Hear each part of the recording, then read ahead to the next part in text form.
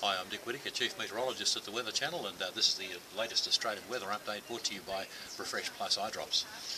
A couple of interesting things here. You can see a band of cloud, a uh, bit of a disconnect there, but basically extending all the way from uh, southwest WA right across to Tasmania. That's a cold frontal system, not producing a great deal in the way of rain, but what it is doing is producing very windy weather across Tasmania. Uh, this morning we've had uh, power lines down and uh, flights diverted because of very strong winds. Wind gusts in excess of 130 kilometres an hour have been reported for parts of Tasmania. That system is going to move away. This low pressure cell uh, that's helping with the wind also going to move away and those conditions will moderate.